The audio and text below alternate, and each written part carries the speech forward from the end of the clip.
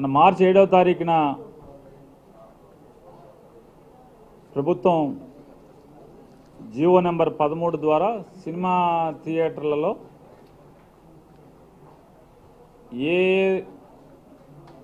చోట్ల ఏ ప్రదేశాల్లో ఏ సినిమా హాల్లో రేట్లు ఎలా ఉండాలి? ఇలాంటి అంశాలన్నీ కూడా ఫిక్స్ చేస్తూ అంటే రేట్లని ఎంట్రీ రే టికెట్ రేట్ని ఫిక్స్ చేస్తూ అన్నిటినీ కూడా జీవోలో పొందుపరచడం జరిగింది. అలాగే దానిలో భాగంగా సినిమా హీరో గారు అలాగే డైరెక్టర్ గారు అలాగే హీరోయిన్ గారు ముగ్గురి రెమ్యునరేషన్ కాకుండా సినిమా నిర్మాణానికి వంద కోట్లు పైచీలకైతే కనుక దాన్ని పరిశీలించి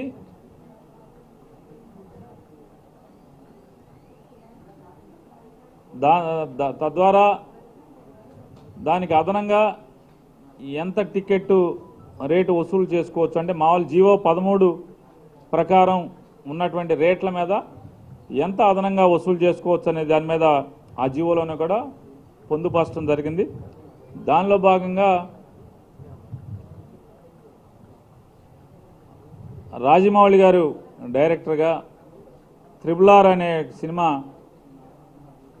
దానికి అప్- దాని నుంచి ఆంధ్రప్రదేశ్ రాష్ట్ర ప్రభుత్వానికి అప్లికేషన్ రావటం జరిగింది.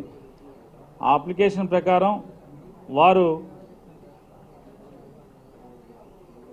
జిఎస్టీ కాకుండా మూడు వందల ముప్పై ఆరు కోట్ల రూపాయలు హీరోలు డైరెక్టరు హీరోయిన్ రెమ్యు హీరోయిన్స్ రెమ్యునరేషన్ కాకుండా సినిమా నిర్మాణానికి ఖర్చు అయిందని చెప్పని వారు వివరాలన్నింటినీ కూడా ప్రభుత్వానికి అందజేయటం జరిగింది. దాని మీద జిఎస్టీ డిపార్ట్మెంట్ కానీ అలాగే ఫిల్మ్ డెవలప్మెంట్ కార్పొరేషన్ కానీ హోమ్ సెక్రటరీ గారు కానీ వీరందరూ కూడా దాన్ని స్క్రూటినీ చేస్తున్నారు. తొందరలోనే అది ఫైలు ముఖ్యమంత్రి గారి దగ్గరికి వెళ్తుంది. వెళ్ళిన తర్వాత దానికి ఎంత అదనంగా రేట్ ఇవ్వచ్చు రేట్ ఇస్తే సమంజసంగా ఉంటుంది. వారు నిర్మాణం చేసినటువంటి వ్యయానికి అని చెప్పని ప్రభుత్వం చూసి తొందరలోనే దానికి కావాల్సినటువంటి జీవోను కూడా విడుదల చేయడం జరుగుతుంది. అలాగే అంటే దాన్ని ముఖ్యమంత్రి గారి యొక్క ఉద్దేశం ప్రజల మీద భారం అయ్యే పరిస్థితి లేకుండా అది నిర్మాణ వ్యయం విపరీతంగా ఉన్నప్పటికీ కూడా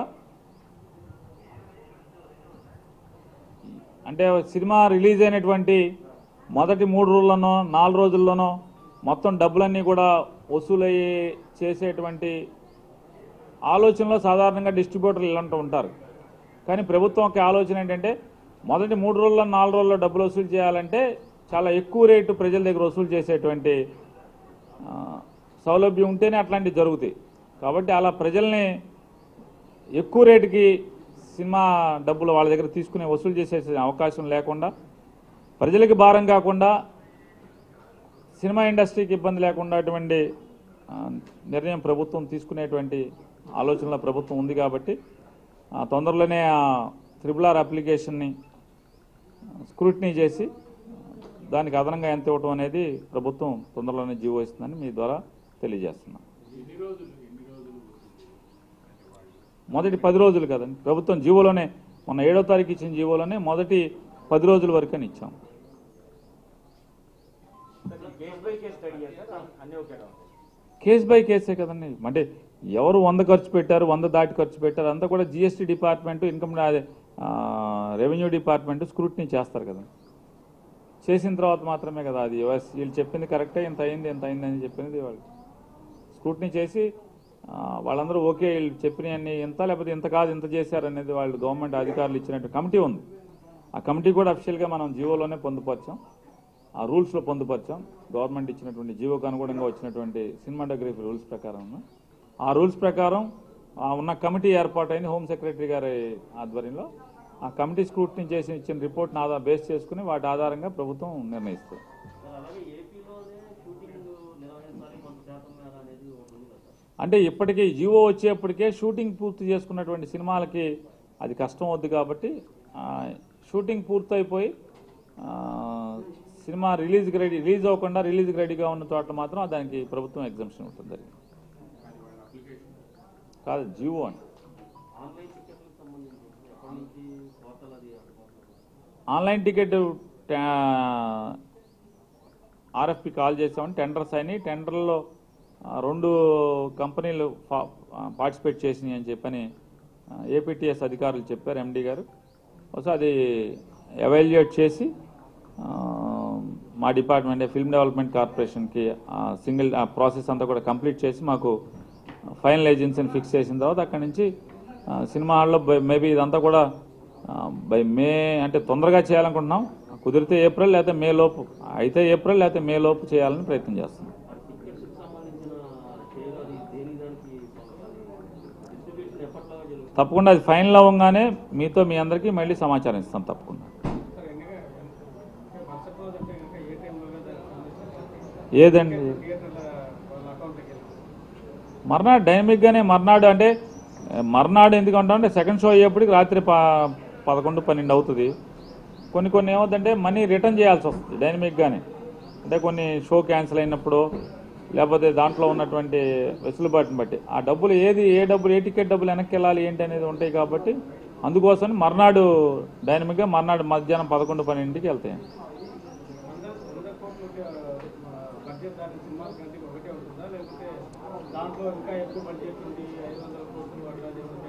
అంతే దాన్ని బట్టి అది అది ప్రభుత్వం దాని కమిటీ డి- కమిటీ ఉంది కమిటీ ప్రభుత్వం వారి ఖర్చు పెట్టిన ఖర్చును బట్టి ప్రజలకు భారం పడకుండా ప్ర- మరీ ఇబ్బంది పడే పరి ప్రజలకు మరీ ఇంత రేటా అనే పరిస్థితి లేకుండా మనం చూసాం గతంలో వచ్చిన సినిమాలకి. అమ్మో ఇంత రేటా అని. క్రేజ్ ఉన్నప్పుడు కొనుక్కుంటారు. అంటే కొన్నారని చెప్పి అది సక్రమం అని చెప్పలేం కదా. అంటే ఆ సినిమా కొన్నారు కదా అంటే కొన్న ప్రతిదీ ప్రజలు డబ్బులు పెట్టి కొన్న ప్రతిదీ అది సక్రమం అని చెప్పలేం కదా. అందుకోసం అని చెప్పని ప్రజలకి భారం కాకుండా అట్లాంటి సినిమా కూడా మంచి సినిమాలు ఎంకరేజ్ అంటే వారిని కూడా భుజం తట్టాకి మంచి సినిమాలు తీయటానికి భుజం తట్టాలి కాబట్టి రెండు మధ్య మార్గంగా ఉంటుంది.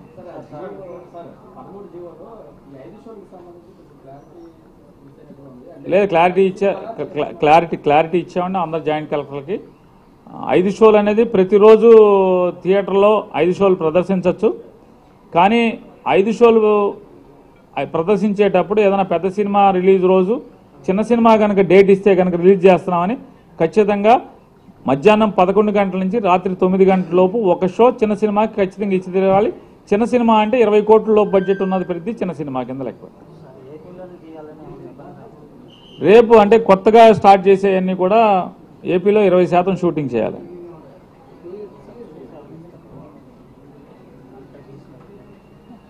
లేదండి అది సబ్సిడీ అనేది ఉండదండి. అయితే లైసెన్స్లో అంటే తీసుకుంటా షూటింగ్ కావాల్సిన పర్మిషన్లు అన్నీ కూడా సింగిల్ విండోలో ఫ్రీగా ఇస్తున్నామండి. మన తెలంగాణలో కానీ మిగతా కానీ ఎక్కడైనా కానీ నార్త్లో కానీ ఫ్రీ ఫీజులు తీసుకుంటారు. వితౌట్ ఫీజెస్ అని ఫ్రీ ఆఫ్ కాస్ట్లో పర్మిషన్ ఇస్తున్నాం.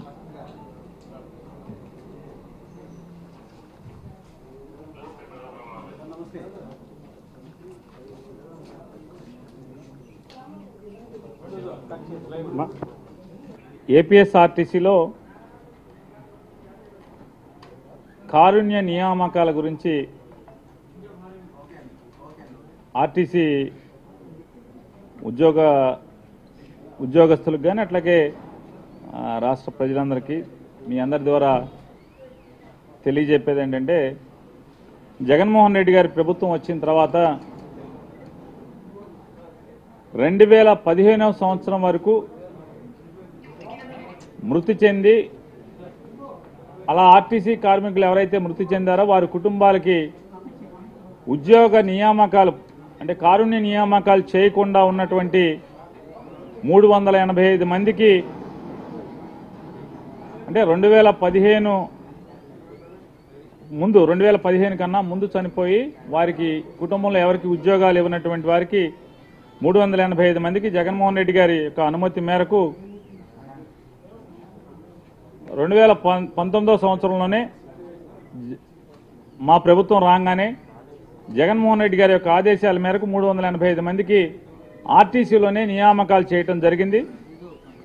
అలాగే రెండు వేల పదహారు జనవరి దగ్గర నుంచి జగన్మోహన్ రెడ్డి గారి ప్రభుత్వం వచ్చే వరకు అంటే మా ప్రభుత్వం వచ్చే వరకు ఎనిమిది వందల తొంభై ఆరు మంది మరణించి అంటే ఆర్టీసీ ఉద్యోగం చేస్తూ మరణించి వారి కుటుంబంలో ఎవరికి కారుణ్య నియామకాలు చేయలేదంటే పద గత ప్రభుత్వంలో కారుణ్య నియామకాలు చేయనటువంటి ఇబ్బందులు ఆర్థికంగా మానసికంగా ఇబ్బందులు పడుతున్నటువంటి ఎనిమిది వందల తొంభై ఆరు కుటుంబాలకి అలాగే ఆర్టీసీ జాతీయం చేయబడి అంటే రాష్ట్ర ప్రభుత్వంలో విలీనం చేయబడిన తర్వాత ఒకటి ఒకటి రెండు వేల ఇరవై ఇరవై ఇరవై తర్వాత చనిపోయినటువంటి తొమ్మిది వందల యాభై ఆరు కుటుంబాల వారికి వెరసి మొత్తంగా అంటే మూడు వందల ఎనభై ఐదు ఆర్టీసీల నియామకం చేసేసాం ఈ ఎనిమిది వందల తొంభై ఆరు అలాగే తొమ్మిది వందల యాభై ఆరు రెండు కలిసి సుమారుగా ఒక పద్దెనిమిది వందల పైచీలకు మంది కుటుంబాలకి రాష్ట్ర ప్రభుత్వ ఉద్యోగంలో అంటే కారుణ్య నియామకం ఇవ్వాలని చెప్పని జగన్మోహన్ రెడ్డి గారు ఆదేశించున్నారు.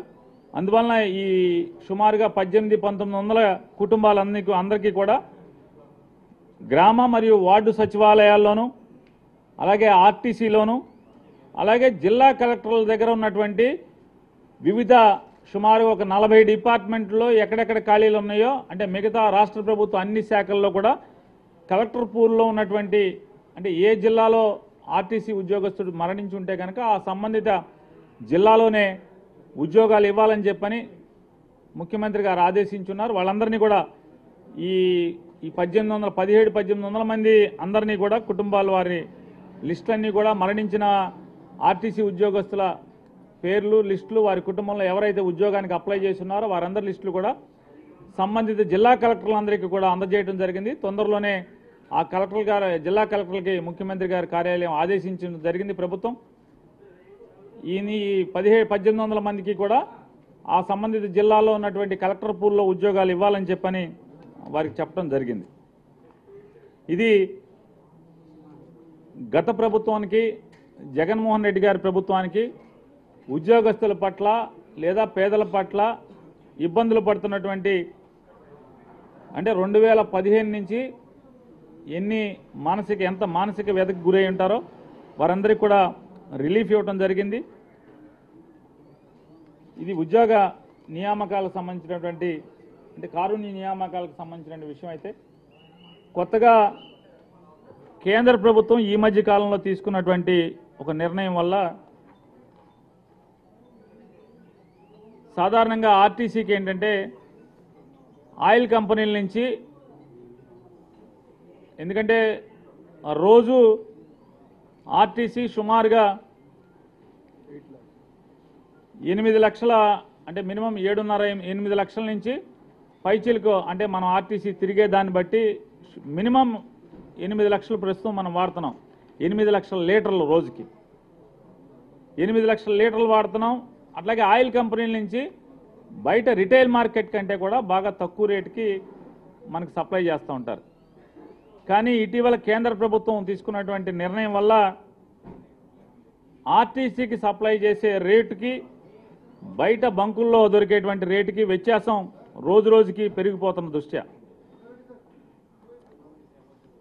మనకి ఆర్టీసీకి ఒకటి పదకొండు రెండు వేల ఇరవై ఒకటో తారీఖున మనం చూసుకుంటే ఏపీఎస్ ఆర్టీసీకి ఆయిల్ కంపెనీలు సప్లై చేసేటటువంటి రేటు లీటర్కి తొంభై రెండు రూపాయల తొంభై ఐదు పైసలు అయితే కనుక బయట రిటైల్ మార్కెట్లో నూట ఎనిమిది రూపాయల ముప్పై ఒక్క పైసలు అంటే పదిహేను రూపాయల ముప్పై ఆరు పైసలు వేరియేషన్ ఉండేది.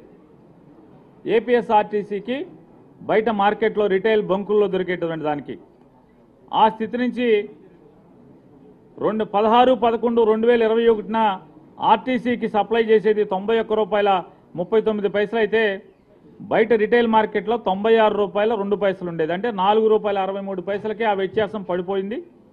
అలాగే ఒకటి ఒకటి పన్నెండు రెండు వేల ఇరవై ఒకటిన ఆర్టీసీకి సప్లై చేసేటువంటి రేటు ఎనభై ఆరు రూపాయల ఎనభై ఎనిమిది రూపాయల అరవై ఒక్క పైసలు అయితే బయట రిటైల్ మార్కెట్లో బంకుల్లో తొంభై ఆరు రూపాయల రెండు పైసలు అంటే ఏడు రూపాయలు నలభై ఒక్క పైసలు అట్లా ఉండేది. అలా ఉంటూ ఉంటూ మొన్న ఒకటి రెండు అంటే ఫిబ్రవరి ఒకటో తారీఖు నుంచి ఆర్టీసీకి తొంభై ఆరు రూపాయలు ఇరవై నాలుగు పైసలకు సప్లై చేస్తే రిటైల్ బంకుల్లో తొంభై ఆరు రూపాయలు రెండు పైసల కంటే ఇరవై రెండు పైసలు మనకన్నా కూడా బయట బంకుల్లో తక్కువకు దొరుకుతున్న పరిస్థితి వచ్చింది. అలా ఉంటే ఒకటి మూడు రెండు వేల ఇరవై రెండో తారీఖును చూసుకుంటే ఒకటి ఆ పదహారు రెండు రెండు వేల ఇరవై రెండును చూసుకుంటే ఆర్టీసీకి వంద రూపాయల నలభై ఒక్క పైసలు. వంద రూపాయల మీద నలభై ఒక్క పైసలు ఆర్టీసీకి లీటర్కి సప్లై చేస్తే బయట బంకుల్లో తొంభై ఆరు రూపాయల రెండు పైసలకు సప్లై చేస్తుంది కేంద్ర ప్రభుత్వం.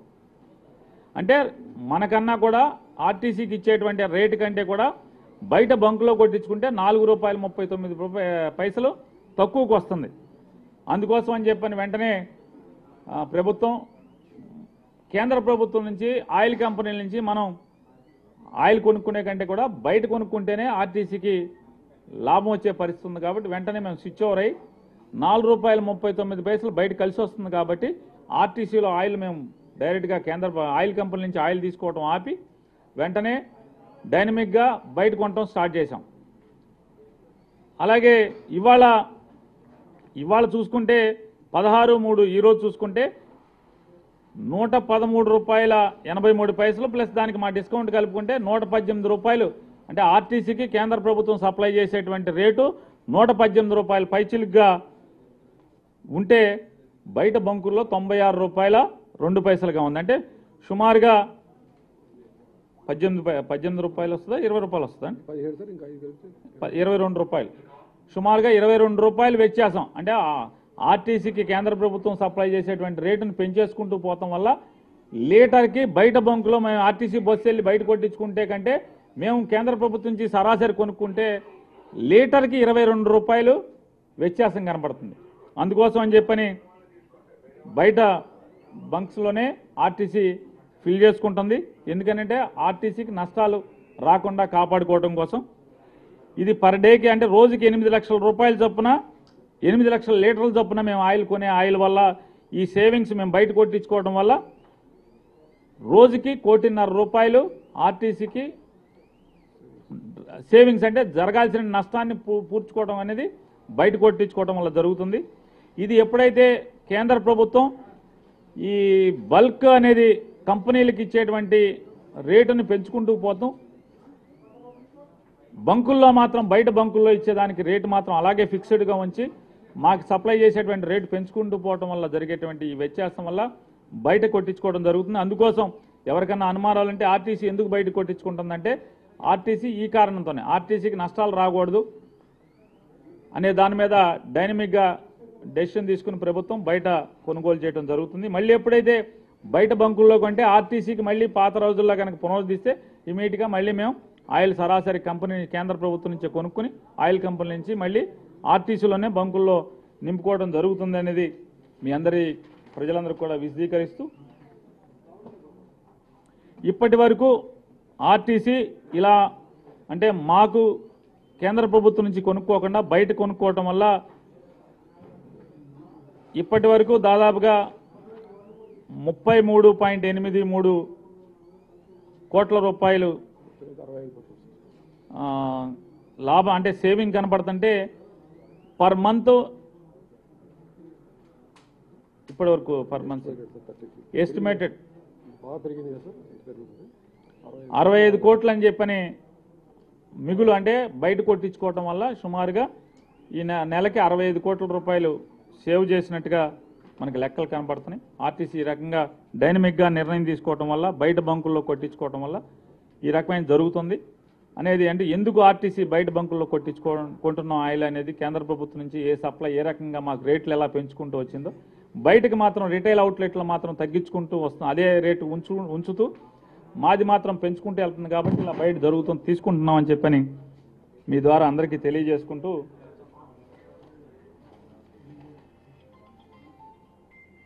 ఇక ఎలక్ట్రిక్ బస్సులకి టెండర్లన్నీ కూడా జరిగి రేపు ఎలక్ట్రిక్ బస్సులు ముప్పై నాలుగు రెండు వేల ఇరవై రెండు.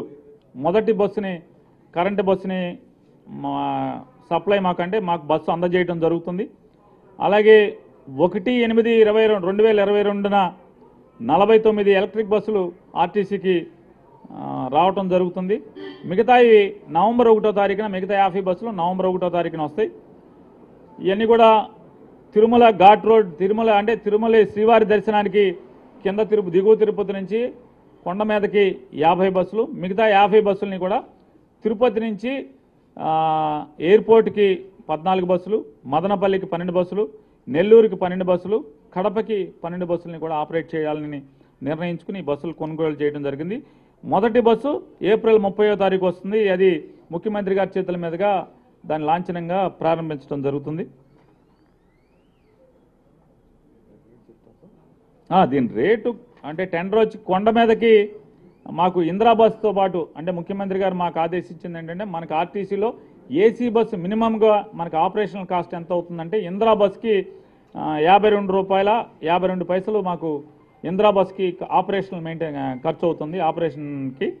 దానికి అంటే పర్ కిలోమీటర్ అండి. పర్ కిలోమీటర్ ఇందిరా బస్కి అయ్యేటువంటి ఖర్చు యాభై రెండు రూపాయలు యాభై రెండు పైసలు అండి సేమ్ రేటుకి మాకు ఇవ్వాలని చెప్పి చెప్పాం. అదే రేటుకి ఒప్పందం జరిగింది. అట్లాగే ఇంటర్సిటీకి వచ్చేప్పటికి నలభై నాలుగు రూపాయలు తొంభై ఐదు పైసలకి మాకు ఇందిరా బస్కి అయ్యేటువంటి ఖర్చు. అదే రేటుకి మాకు అగ్రిమెంట్ అయింది. అదే రేటుకి రేపు వీళ్ళు సప్లై చేస్తారు. అలాగే కోవిడ్ దృష్ట్యా ఆర్టీసీలో వయసు పైబడిన వారికి అంటే అరవై సంవత్సరాలు దాటినటువంటి వయోవృద్ధులకి సీనియర్ సిటిజన్స్కి ఇరవై ఐదు పర్సెంట్ కన్సెషన్ ఉండేది. అది కోవిడ్ వచ్చినప్పుడు ఇరవై ఒకటి ఐదు రెండు వేల ఇరవైన అప్పటి నుంచి కూడా దాన్ని నిలుపుదల చేయడం జరిగింది. మళ్ళీ దాని అంటే మళ్ళీ ఇరవై ఐదు పైసలు ఇరవై ఐదు పర్సెంట్ కన్సెషన్ని ఒకటి నాలుగు రేపు ఏప్రిల్ ఒకటో తారీఖు నుంచి మళ్ళీ దాన్ని పునరుద్ధరిస్తున్నాం. ఒకటి నాలుగు రెండు వేల ఇరవై రెండు నుంచి కూడా ఆ కన్సెషన్ను ఎలవ్ చేయటం వల్ల రెండు లక్షల మంది సుమారుగా మనకి పాత అంటే కోవిడ్ వచ్చే ముందుకి మన దగ్గర ఉన్న లెక్కల ప్రకారం పర్ డే రోజు రెండు లక్షల మంది సీనియర్ సిటిజన్స్ అరవై సంవత్సరాలు దాటిన వాళ్ళు ఇరవై ఐదు పర్సెంట్ కన్సెషన్కి టికెట్ అంటే ప్రయాణం అవైల్ చేసుకునేవాళ్ళు వాళ్ళందరికీ కూడా మళ్ళీ ఈ సౌలభ్యం ఏర్పాటు అవుతుంది వారికి కావలసినటువంటి ఎవరైతే బస్సుల్లో అరవై ఏళ్ళు దాటినటువంటి వారు ఇరవై ఐదు శాతం కన్సెషన్ కావాలనుకుంటున్నారో వారందరూ కూడా కండక్టర్ దగ్గర కానీ లేదా సింగిల్ డ్రైవర్ ఆపరేషన్తో ఉండేటువంటి ఆ బస్సులో అయితే డ్రైవర్ దగ్గర లేదా బుకింగ్ చేసుకున్నప్పుడు అయితే కనుక బుకింగ్ క్లర్క్ దగ్గర రిజర్వేషన్ చేసుకునేప్పుడైతే రిజర్వేషన్ అక్కడ proof చూపించాల్సింది Aadhaar card ration card voter ID card senior citizen ID card PAN card passport ఏదో ఒకటి. అంతే కదా? వీటిలో ఏదో ఒకటి అరవై సంవత్సరాలు అనేది వయసు నిర్ధారణ కోసం ఈ ప్రూఫ్లు ఆరు ప్రూఫ్లు ఏదో ఒక ప్రూఫ్ ఉంటే కనుక మేము ట్వంటీ ఫైవ్ పర్సెంట్ కన్సెషన్ని వారికి అవైల్ చేస్తామని చెప్పి ఇచ్చి అందరికీ విజ్ఞప్తి చేస్తున్నాం. అలాగే ఆర్టీసీ ప్రభుత్వంలో మెర్జర్ జగన్ జగన్మోహన్ రెడ్డి గారు ఒక సాహసోపేతమైన నిర్ణయం తీసుకోవడం వల్ల ప్రపంచంలో ఎక్కడా జరగని విధంగా ఒక కార్పొరేషన్ని వెనక్కి తిప్పుతూ అంటే ప్రభుత్వం నుంచి ప్రైవేట్ అవటం లేకపోతే కార్పొరేషన్ అవటం చూస్తున్నాం కానీ ఒక కార్పొరేషన్ని మళ్ళీ ప్రభుత్వంలోకి తీసుకొచ్చేటువంటి నిర్ణయం జగన్మోహన్ రెడ్డి గారు తీసుకున్నారు. దీనివల్ల జీతబత్యాల కింద సాలీనా దాదాపుగా మూడు వేల ఐదు వందలు మూడు వేల ఆరు వందల కోట్ల రూపాయలు సంవత్సరానికి ప్రభుత్వం మీద భారం పడుతుంటే ఆ భారాన్ని బాధ్యతగా తీసుకున్న జగన్మోహన్ రెడ్డి గారు ఎన్నికల్లో తను ఇచ్చిన హామీ మేరకు ఆర్టీసీని బతికించాలి. ఇలా ఆర్టీసీ కనుక ఇదే రీతిలో నడిపే లెక్క అయితే కనుక భవిష్యత్తులో ఇది ప్రైవేట్ పరమైపోయే పరిస్థితులు ఉంటాయనే ఉద్దేశంతో ఆర్టీసీకి ఉన్నటువంటి సుమారుగా ఆరు వేల పైచీలకు సుమారుగా ఏడు వేల కోట్ల రూపాయల అప్పుల్లో ఉన్న ఆర్టీసీ స్థితి ఆ స్థితిలో ఉంటే జాతీయం చేయటం వల్ల అంటే ప్రభుత్వం దాన్ని టేక్ ఓవర్ చేయటం వల్ల రెండు వేల ఇరవై ఇరవై ఒకటో సంవత్సరంలో ఆర్టీసీకి ఉన్నటువంటి రాబడి రెండు వేల ఆరు వందల తొంభై ఒక్క కోట్లయితే దాని ఖర్చు ఎక్స్పెండిచర్ వచ్చి రెండు వేల నలభై మూడు కోట్లయితే కనుక ఆ సంవత్సరానికి ఇరవై ఇరవై ఒకటి మెర్జర్ చేసిన తర్వాత సంవత్సరానికి ఆరు వందల యాభై ఎనిమిది కోట్ల రూపాయలు లాభం రావడం జరిగింది. ఎందుకంటే జీతభత్యాలని ప్రభుత్వం బాధ్యతగా తీసుకుంది కాబట్టి ఆ భారాన్ని. ఈ ఆరు వందల యాభై కోట్ల రూపాయ ఆరు వందల యాభై ఎనిమిది కోట్ల రూపాయలకి ఎందుకు అంత తగ్గిందంటే షార్ట్ ఫాల్ ఉంది. ఎందుకంటే కోవిడ్ వల్ల. కోవిడ్ వల్ల ఆపరేషన్స్ అన్ని తగ్గినాయి. కోవిడ్ కనుక రాకుండా ఉంటే కనుక మరొక అదనంగా కోవిడ్ ఇంపాక్ట్ వచ్చి రెండు వేల ఎనిమిది వందల కోట్ల రూపాయలు. అంటే కోవిడ్ వల్ల ఆర్టీసీకి వచ్చినటువంటి రావాల్సినటువంటి ఇన్కమ్ రెండు వేల ఎనిమిది వందల కోట్ల రూపాయలు రెవెన్యూ తగ్గింది. తద్వారా లాభాలు కూడా తగ్గినాయి కాబట్టి ఆరు వందల యాభై అరవై ఆరు వందల యాభై ఎనిమిది కోట్లకు పరిమితమైంది. రెండు వేల ఇరవై ఒకటి ఇరవై రెండో సంవత్సరానికి ఆర్టీసీ రెవెన్యూ వచ్చి మూడు వేల తొమ్మిది వందల అరవై ఒక్క కోట్ల రూపాయలు. ఖర్చులు వచ్చి ఎక్స్పెండిచర్ వచ్చి మూడు వేల నూట నలభై ఐదు కోట్ల రూపాయలు. ఎందుకంటే ఆపరేషన్స్ ఇంప్రూవ్ అవుతూ వస్తున్నాయి కాబట్టి సర్ప్లస్ వచ్చి ఎనిమిది వందల పదహారు కోట్ల రూపాయలు. ఈ రెండు వేల ఇరవై ఒకటి ఇరవై రెండో సంవత్సరం కోవిడ్ ఇంపాక్ట్ వచ్చి పదిహేను వందల కోట్ల రూపాయలు. అంటే పదిహేను వందల కోట్ల రూపాయలు. రావాల్సినటువంటి ఆదాయం తగ్గుదల కనపడింది. ఆ నష్టం అంటే రాకుండా ఆగిపోయినటువంటి కోవిడ్ వల్ల ఆగిపోయినటువంటి ఆదాయం పదిహేను వందల కోట్లయితే మొత్తంగా రెండు వేల అంటే ఆర్టీసీని జాతీయం చేసిన తర్వాత అంటే రాష్ట్ర ప్రభుత్వం మెర్జర్ చేసిన తర్వాత వచ్చినటువంటి రెండు సంవత్సరాల ఆదాయం పద్నాలుగు వందల డెబ్బై నాలుగు కోట్ల రూపాయలు అయితే ఆ పద్నాలుగు వందల డెబ్బై నాలుగు కోట్ల రూపాయలని ఆర్టీసీకి ఉన్నటువంటి అప్పులు తీర్చడం జరిగింది. దానిలో ఆర్టీసీకి జగన్మోహన్ రెడ్డి గారి ప్రభుత్వం వచ్చి ఆర్టీసీని వచ్చేప్పటికి రెండు వేల ఆరు వందల నలభై తొమ్మిది కోట్ల రూపాయల బ్యాంకు రుణాలు ఉన్నాయి దానిలోంచి ఇప్పటి వరకు కట్టుకుంటా వచ్చినటువంటి ఈ రెండు వేల ఆరు వందల డెబ్బై మూడు కాదు బ్యాలెన్స్ ఇది. ఇంకా ఇరవై నాలుగు కోట్ల రూపాయలు ఇప్పుడు ముందు మనకి. కాదు? ఇప్పుడు ఎంత ఉంది? రెండు బ్యాంక్ లోన్లో రెండు వేల ఆరు వందల డెబ్బై మూడు కోట్లు ఉన్నాయి.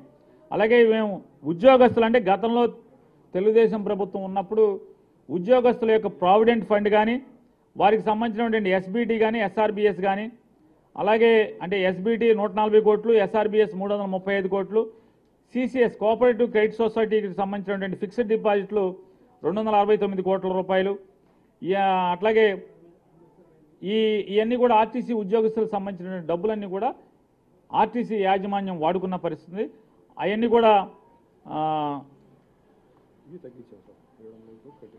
ఏడు వందల ఐదు కోట్ల రూపాయలు ప్రావిడెంట్ ఫండ్ని ఎంప్లాయీస్కి చెల్లించడం జరిగింది. ఆ ప్రావిడెంట్ ఫండ్ నిధి కా ఖాతాకు జమ చేసేసి వారికి ఇవ్వడం జరిగింది. అట్లాగే ఎస్బిటి ఎస్ఆర్బిఎస్ కింద ముప్పై ఐదు కోట్లు జమ చేయడం జరిగింది. సిసిఎస్ కోఆపరేటివ్ క్రెడిట్ సొసైటీ ఏదైతే ఎంప్లాయీస్ ఫిక్స్డ్ డిపాజిట్లన్నీ కోఆపరేటివ్ క్రెడిట్ సొసైటీలో ఉన్నాయో వారు దాచుకున్నటువంటి ఫిక్స్డ్ డిపాజిట్ల కింద దాచుకున్నటువంటి డబ్బులన్నీ కూడా రెండు వందల అరవై తొమ్మిది కోట్ల రూపాయలని కూడా పూర్తిగా చెల్లించడం జరిగింది.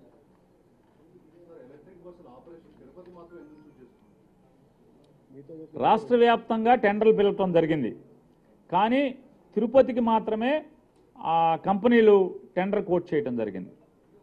తిరుపతి తిరుమలకి మాత్రమే వారు ఆ రేటుకి మ్యాచ్ చేస్తూ కోట్ చేశారు. మిగతా ఎక్కడ కూడా మేము విజయవాడకి పిలిచాం విశాఖపట్నానికి పిలిచాం కాకినాడకి పిలిచాం చాలా చోట్ల పిలిచాం.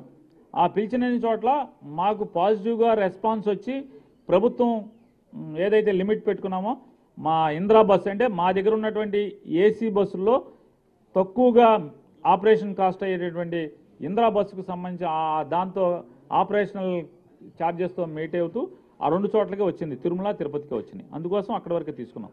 మిగతా చోట్లకి ఎక్కువ కోచ్ చేస్తున్నారు కాబట్టి అది మాకు వద్దని చెప్పాం.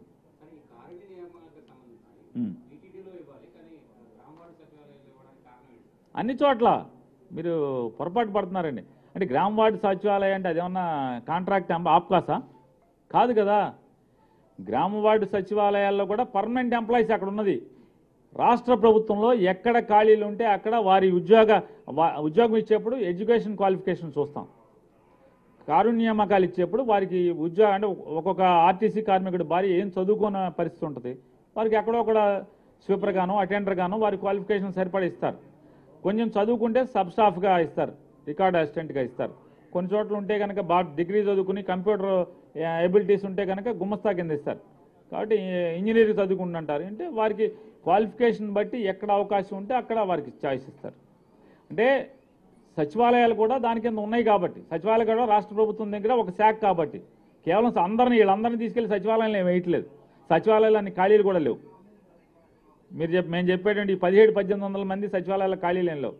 కాబట్టి కలెక్టర్ పూల్ ఎక్కడుంటే అక్కడ. ఎందుకంటే మిగతా కలెక్టరే అంటే మిగతా నలభై శాఖల్లో ఎక్కడైతే చనిపోయి ఉన్నారో ఎంప్లాయీస్ ఉద్యోగం చేస్తూ చనిపోయారో వారి పిల్లలకి ఎలా అయితే ఇస్తారో on par with other employees other state government state government employees RTC వాళ్ళని కూడా అదే దామాషాలో ఇస్తున్నాం.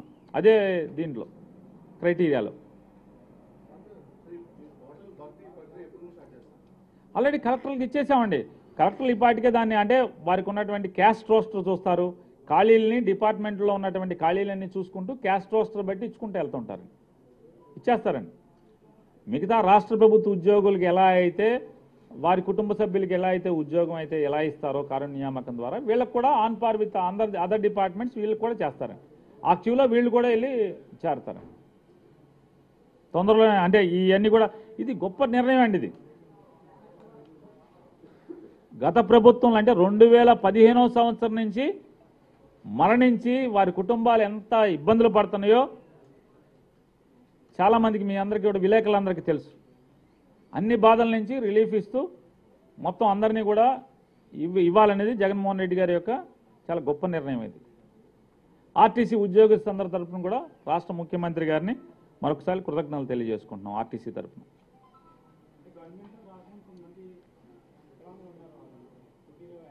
అర్థం కాలేదండి.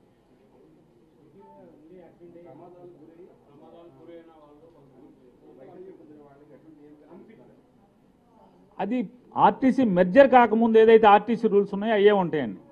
ఒకటి ఒకటి రెండు వేల ఇరవై నుంచి ఆర్టీసీ మెజర్ అయిన దగ్గర నుంచి on par with government employees. గవర్నమెంట్లో ఉన్నప్పుడు ఇన్ సర్వీస్లో ఎలా అయితే డిజేబిలిటీ వచ్చింటే కనుక ఎలా అయితే ఆల్టర్నేటివ్ అరేంజ్మెంట్ ఉంటుందో ఇక్కడ కూడా అలాగే ఉంటుంది.